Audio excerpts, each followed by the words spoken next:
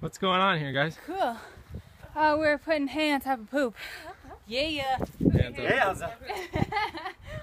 Hay on top of poop. All Smells about awesome. Good. So tell me about what we're doing here, Ian. We're, go- we're layering in the compost. Putting straw and manure on top of each other so that it will process the food that we just ate. So next year we can grow ourselves some more food and so we can eat it up and then we're going to throw the rest of its leftovers in this new pile that's not going to be here anymore next year because this is all going to turn into soil. Right now it's just poop and straw and, and greens. How's that? That's some pretty good. browns, some greens, and some some other things. Awesome.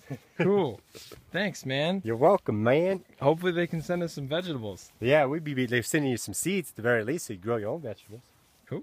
All right. That's that's a good exchange, Farm life ain't so bad. I like farm life. right? Let's do this.